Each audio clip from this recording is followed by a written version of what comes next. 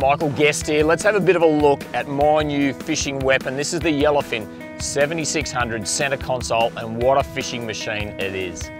Like all Yellowfin boats, this one has a fantastic ride, 6mm uh, plate bottom, full length chine and a really sharp entry.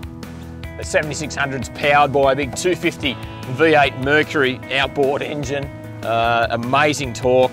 I've been really, really impressed with it so far. We've some incredibly long rides, 70 nautical miles right out to the reef off Townsville.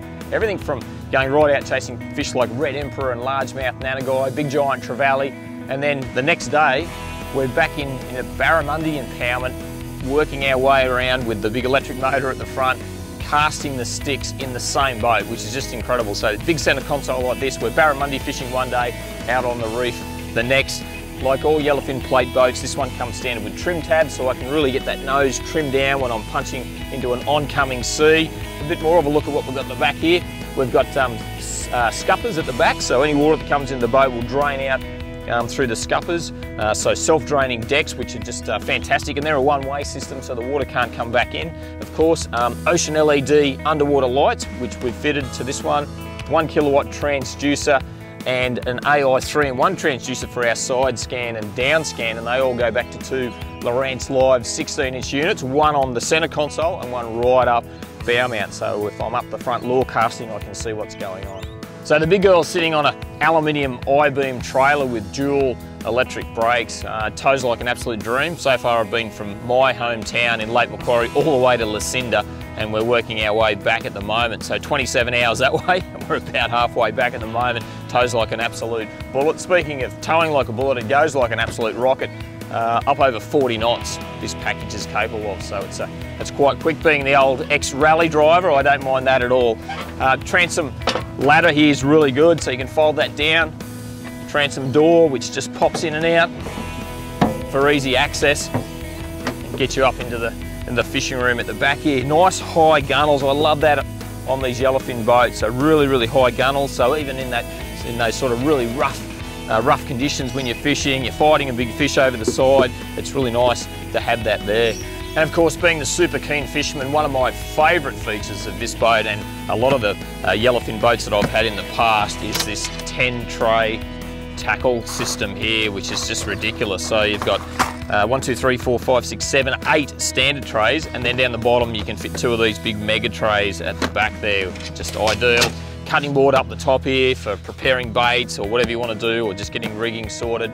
Four rod holders across the back, some cup holders, an area in the back here where you've got pliers and knives and scissors and all that sort of thing, and then even a, a leader dispenser, which I actually haven't got around to putting any leader in yet, but we've got that there. Over here we've got our big live bait tank with that glass window and it's a really big tank. Uh, that's a crucial thing. It's got a light inside as well but that's a crucial thing for keeping live baits nice and healthy and travelling big distances. You need plenty of room and we've got that there. It's got a, uh, it's got a pump pickup for when you're stationary and when you're moving along it's got a Venturi pickup which just flows the water in there perfectly. As you can see there's an amazing amount of room in here and all the space has been utilised very well. So we've got this folding striker chair here, which is comfortable. So if you're, you're out and about uh, just lazing around or game fishing, trolling around, got that comfy seat there. You can fold it back this way for the driver and co-driver and three passengers actually fit across there. And then that'll open up and there's a big 140 litre um, fiberglass esky in there to keep all your drinks cool or put fish in or whatever you want to do. So I've also fitted uh, eight of these exploding fish adjustable rod holders. So they're pretty cool. I can point the rod whatever direction I'd like. So there's eight of those. So with eight rod holders there, four there, got to do my maths here, that's 12. And then another five across the top, 17 rod holders in this boat. So plenty there. These are ideal. Pull the pin, you can fold them down. So if a roof uh, shed height's a bit of a problem, you can soon pull those down. You can never have enough storage. So we've got full length uh, side pockets right down the side of the boat, which is just ideal. I've got nets and outriggers and everything will just fit in there. Having a look at the console, not, you're not jammed in here, plenty of room once again. So um, got, the, got the stainless steel steering wheel here, 16 inch uh, Lowrance Live unit as I've already mentioned. Um, everything's nice and comfortable, ergonomic, easy to get at. I've even got a phone, one of those Scanstrut phone chargers here, which are just fantastic. Marine radio, binnacle control, trim tabs are there, my mercury gauges, Everything's where I need it to be and even more storage up underneath the console. The boat comes with a 380 litre fuel tank, which is a fantastic amount of fuel for doing all sorts of things. Uh, as I mentioned before, doing some big runs out to the reef. Uh, one day there, we, we, completed about 170, around 170 nautical miles with a 250 V8 on the back. So, so ample fuel, which is great for doing those big reef runs.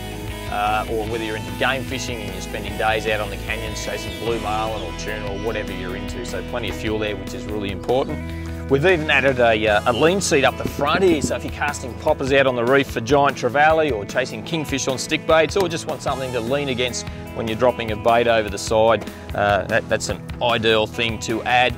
Uh, mentioned before, got the big 16 inch live screen at the front there so I can see what's going on.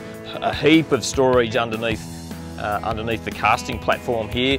Big checker plate steps that come up and actually checker plate right throughout. So non-slip, easy to clean, give it a bit of scrub down when you finish fishing.